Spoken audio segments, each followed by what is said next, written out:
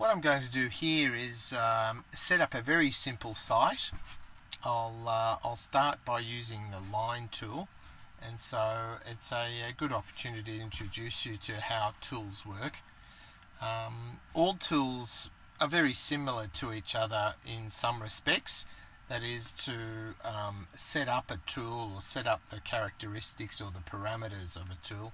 You always double click the tool and it opens up a dialog box where um, generally things are in similar places. There's these little uh, black arrows that you can click and it um, and it opens up the dialog box with more detail. You'll notice that all the tools are the same. Double click the wall tool and it looks a little bit more complicated but we will go through the wall tool and some of the other tools with more detail but um, they have they collapse the dialog box and you can use these arrows. Um, generally they're broken up in similar sorts of ways. So if I was to double click the slab tool again you can see that uh, um, and I, I, will go through these in more detail later on.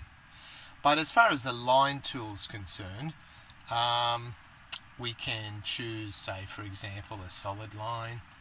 We can choose a pen weight and there's a number of different pens we can use you notice that uh, here pen 1 is 0.1 of a millimeter thick pen 2 is 0.2 pen 3 0.3 and so on Yep, all the way up.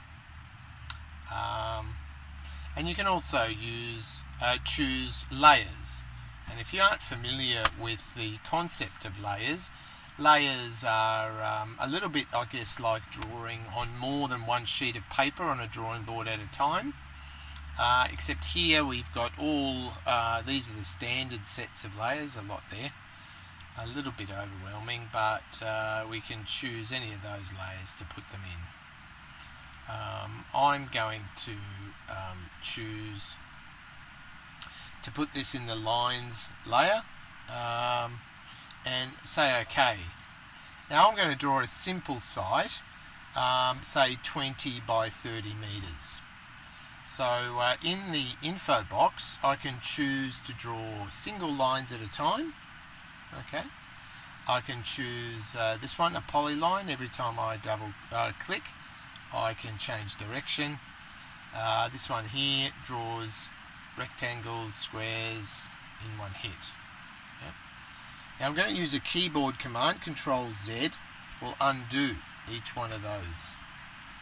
So I'll hold the control key down, hit Z, and it undoes. So I'm going to use this rectangular tool to set up the basic shape of my site. So I click somewhere down here in the corner and you'll notice this little uh, pet palette that's following my cursor around. Um, I can use that to input the size of my site. So I hit the tab key once, it highlights. I can, uh, can see the direction that I'm going in horizontally. I'm going to type in uh, 20 meters because we're uh, 20 meters, but 20,000 because we're working in millimeters. Then hit tab again and then type in 30,000 and then hit enter and I have created a rectangle that's going to represent my site okay uh, the next step would be to use the mesh tool. Now the mesh tool is used for creating well amongst other things um, sites. And um, this is going to be the basic tool I'm going to use for creating a site. So the site's going to be grass on the surface, earth down the sides, and the bottom or the core of the site's going to be made of earth. Um, there's basically three different types of sites I can make. This one here is a solid site. Um, it can have um, the topography of the site can change, but basically uh, I'm going to make it one meter thick um, generally right through and then I can increase it if I wanted to.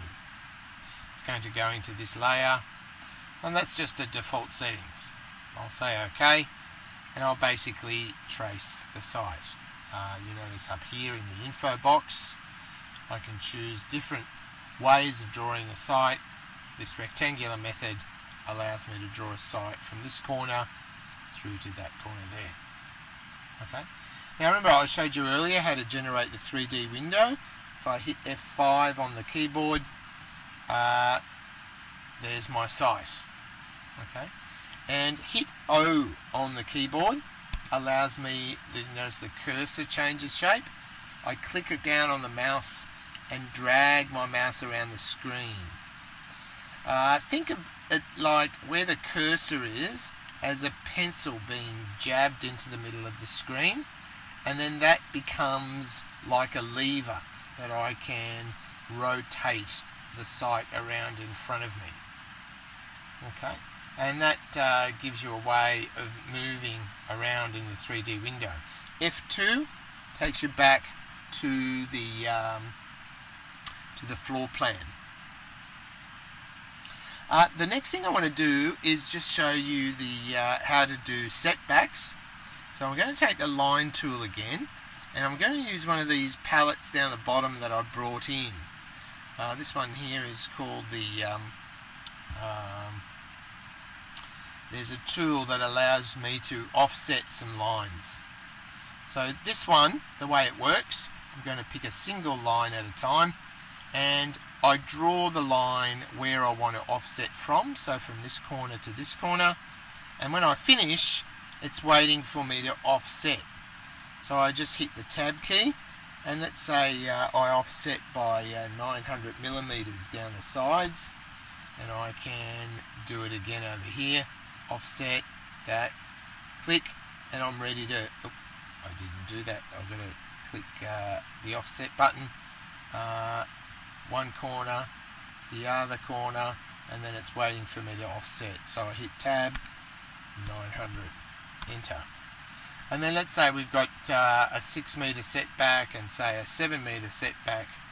So I can click the offset button, uh, draw one line from there to there, and then tab, say uh, 6 meters, 6,000 and then you always have to remember to click the offset when you want to offset. And that can be the front boundary offset at tab 7000 okay?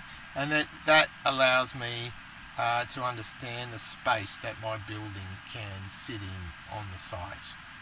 Okay in 3D I only see the objects that I've drawn in 3D so we don't see the lines but in uh, 2D we also get those offsets. And if you do want to turn these into dotted lines, you can select them. Um, notice I'm in the arrow tool. I can select objects while I'm in the arrow tool. If you want to select more than one object at once, it defaults to deselecting the first. But if you want to select more than one object at once, hold the shift key down and you can go through and click more than one object. And I can either change it to a dotted line here uh, say like that or if uh, I'll undo control Z on the keyboard or you can also uh, double click the uh, line tool and you can choose it from here. Okay? Um, either way we can turn those into dotted lines have a go at that yourself